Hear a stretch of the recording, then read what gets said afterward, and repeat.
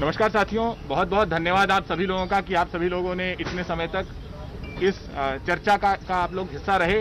हालाँकि चर्चा अंदर हो रही थी लेकिन चर्चा के विषय में चर्चा पूरे देश में हो रही थी और इसमें आप सब लोगों की बहुत बड़ी भूमिका है। तो इसके लिए मैं आप सभी को धन्यवाद देता हूँ। राष्ट्रमंच की ये प्रथम बैठक है जिसमें सभी साथी जो आ सके जो सदस्य पहले भी आते रहे हैं पार्टियों के दायरे से ऊपर उठ करके राष्ट्र के मुद्दों पर अपनी सोच रखने वाले पब्लिक लाइफ में एक एक ऊँची स्टैंडिंग रखने वाले ऐसे सभी लोग राष्ट्रमंच का हिस्सा रहे हैं। तो आज जो चर्चाएँ हुई सबसे पहले मैं उसका निचोड़ बता, बताना चाहता हूँ। जो सबसे महत्वपूर्ण निचोड़ है उसका वो ये है कि इस देश में बेहद आवश्यक है कि एक ऑल्टरनेट विजन तैयार किया जाए एक ऐसी सोच तैयार की जाए जो वाकई इस देश के ज्वलंत मुद्दों पर जिससे देश का आम नागरिक जुड़ा रहता है और जिससे वो आगे बढ़ने की सोच सकता है उन मुद्दों पर वो सोच बुलंद हो।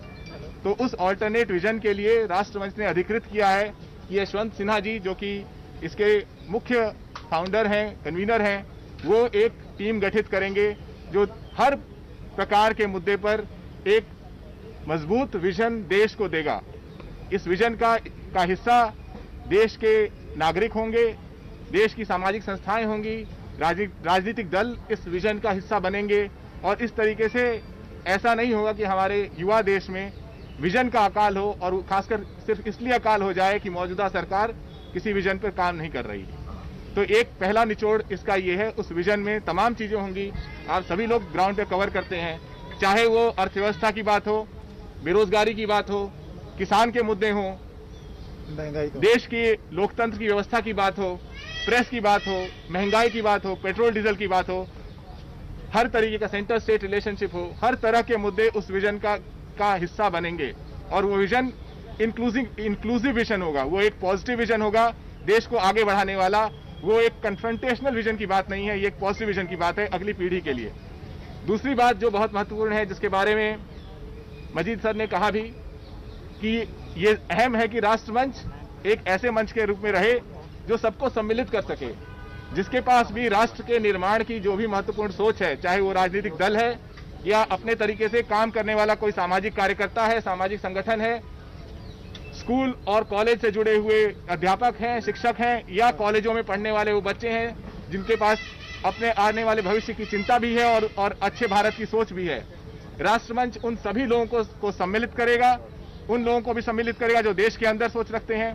उन भारतीयों के लिए भी एक मंच प्रस्तुत करेगा जो देश के बाहर है लेकिन भारत के लिए एक बुलंद सोच रखते हैं। तो ये दूसरी महत्वपूर्ण बात आज राष्ट्रमंच ने तय की। मंच की चर्चाओं में यह भी सामने आया कि किस तरीके से पेट्रोल और डीजल की लगातार ऊँची कीमतें देश के हर नागरिक को, खासकर किसानों को और मध्यम वर्ग को लगातार प्रताड़ित कर रही हैं। तो राष्ट्रमंच उस, उन, उस विषय पर भी एक एक आम माहौल बनाएगा कि पूरा देश एकजुट होकर के सरकार से कह सके कि हम हम लोगों की जेब से ये पैसा लेना आप बंद कीजिए और सरकार को नए रास्ते खोजने पड़ेंगे, लेकिन इस तरीके से देश के आम नागरिक को प्रताड़ित नहीं किया जा सकता। इस तरीके के अन्य मुद्दों पर भी राष्ट्रमंच रुख रखेगा।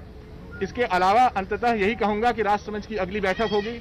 उस अगली बैठक में आप देखेंगे कि एक बहुत विस्तृत मंच है।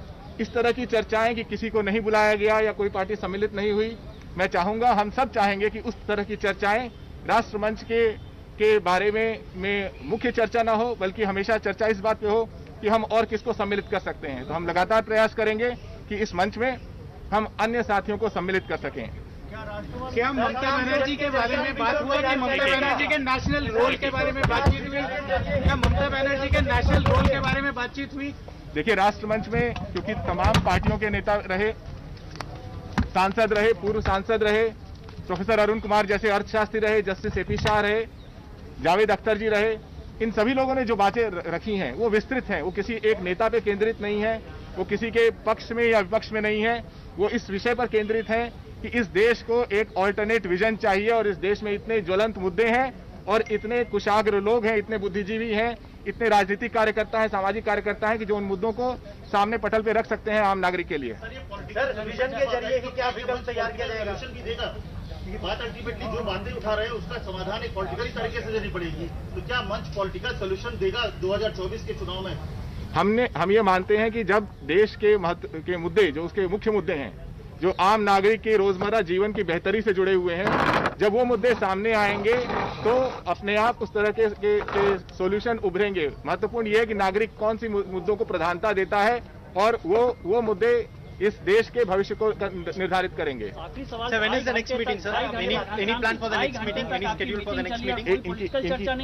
इनकी बात कर रहे हैं। ढाई घंटे तक मीटिंग चली कोई पॉलिटिकल दोनों बातें दोनों आपकी बात जो है अगली बैठक कब होगी उसका अभी दिन तय नहीं हुआ है लेकिन उससे पहले ये प्रयास किया जाएगा कि उसमें तमाम पार्टियों के लोगों को जो एक एक, एक राय रखते हैं उनको सम्मिलित किया जाए।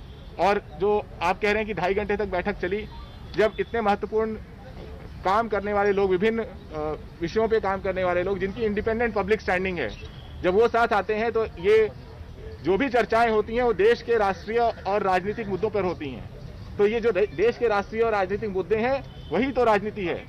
तो ये पॉलिटिकल इसकी पूरी इस, इसका जवाब देता हूँ। वो जो हमारे राष्ट्रमंच की दृष्टि से ये चर्चा ये मुद्दे ही हमारी राजनीति है। चेहरे पर बात नहीं हुई घनश्याम जी। घनश्याम जी चेहरे पर बात नहीं हुई। कौन मंच का चेहरा होगा? ममता बनर्जी होंगी शरद पवार होंगे यशवंत सिन्हा होंगे। जब से कौन चेहरा होगा राष्ट्रमंच दोनों का बातें। पहली बात कि राष्ट्रमंच ने जैसा मैंने शुरू में कहा कि सारी जो निचोड़ था मैंने आप लोगों के सामने रखा। निचोड़ था कि देश में एक ठोस मज़बूत ऑल्टरनेट विजन होना चाहिए और विजन के पीछे ऐसे लोग दिखने चाहिए जिन्होंने उन विषयों पर काम किया है।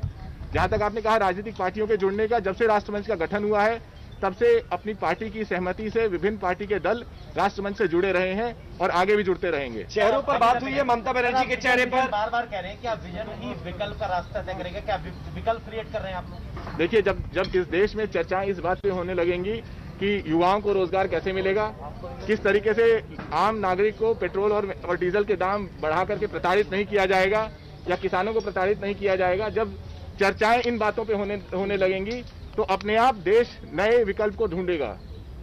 ठीक है। धन्यवाद। Thank you